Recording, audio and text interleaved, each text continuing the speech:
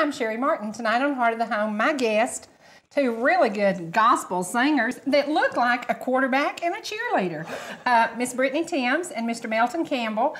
I know if you love gospel music, you know Melton Campbell, who had the number six song in the nation last year, I'm Not Ashamed, as you sang with the Right. inspirations, right? And Miss Brittney, honey, if you haven't seen her sing, you've missed a treat because you are an up and coming gospel singer too, right? you. Right. She's really good. I enjoyed her Saturday night. And um, today they're here to help me. You were a quarterback in high school, and you're as pretty as any cheerleader I've ever seen. I understand you're in the band, but today you're my cheerleader. So, works for us. Um, we're going to do a simple recipe that you would have when you have um, tailgating parties. If you have a motorhome, you can keep this hot in a crock pot, or when you invite company over. And everybody knows I have a 15 year old who tells me, Mama, you're pulling for the wrong team. The Colts can never win because of the Bears defense. I don't care what Nicholas says, the Colts are going to win. So That's right. we are pulling for the Colts.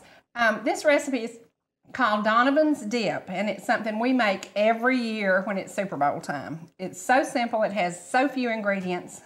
The ingredients for Donovan's Dip are a large block of Velveeta cheese melted, and sauteed ground beef with chopped onion and a medium jar of salsa. And I do like medium. If you don't like medium, use mild. If you like hot, use hot. This is another one of those recipes that you can improvise. My buddy Melton doesn't like chili. On occasion, we add chili to this recipe. So, you know, use your own taste, do what your family likes, but keep it simple. I wish we had a football here, don't you? Love to have a football. Well, the first time he came to my house, you actually came and threw passes with Nicholas out in the pasture, didn't you? Mm-hmm. Sure Yeah, did. I remember that. That was a good day.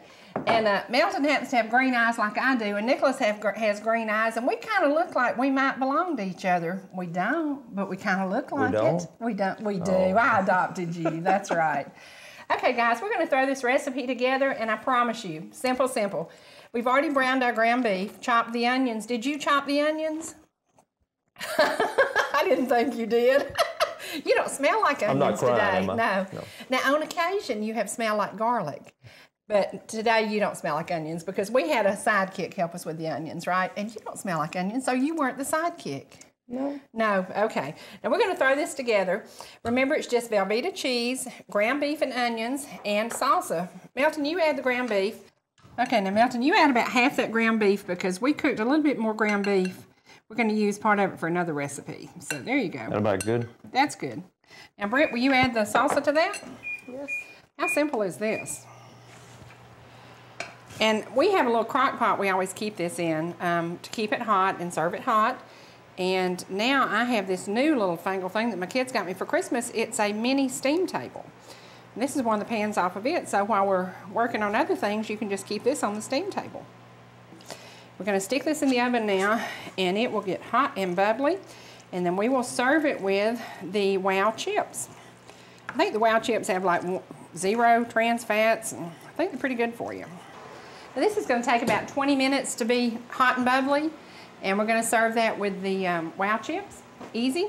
And if you want to do a side salad, there you go. You've almost got a meal. Well, Donovan's dip is ready. It looks great. We're going to try it.